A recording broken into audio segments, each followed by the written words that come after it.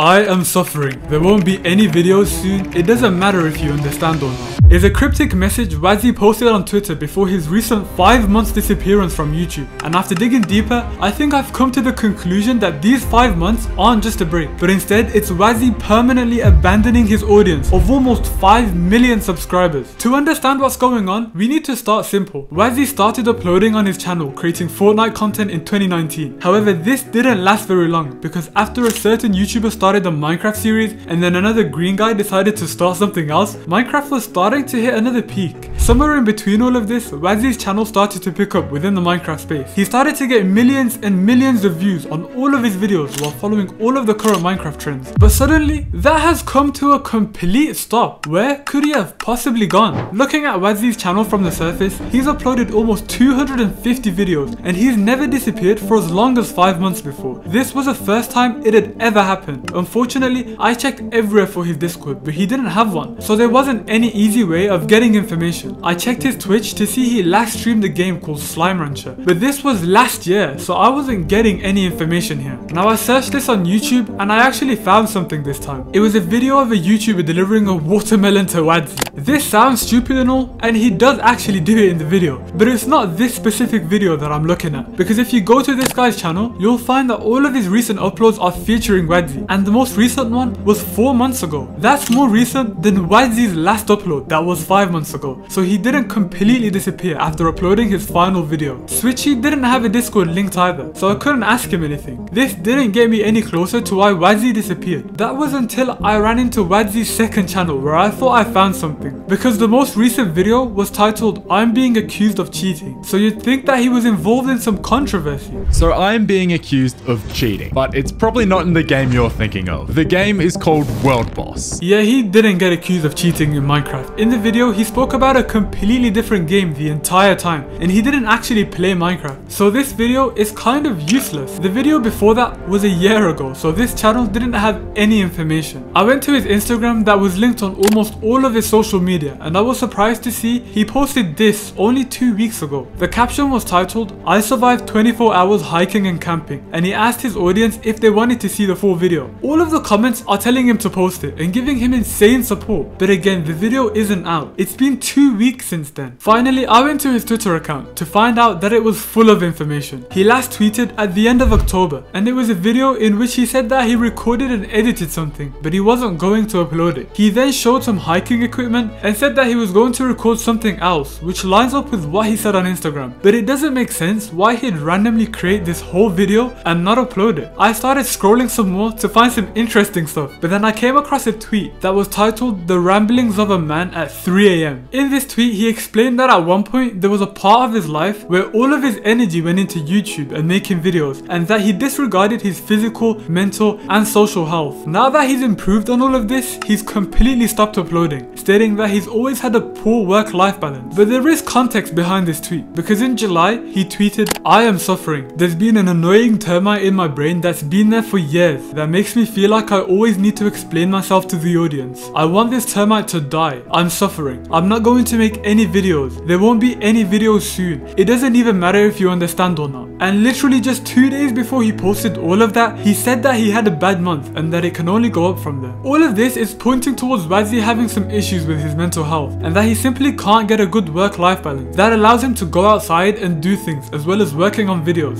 Is Wadzee going to come back to uploading? Well again, just two weeks ago on his Instagram, he did ask everyone if he should post this video. It could still be in production and he did mention that he couldn't think of anything he wants to do in this world other than be a YouTuber. So he will most likely return. But if you enjoyed this video, please subscribe for more short stories like this and join my Discord because I need some more ideas.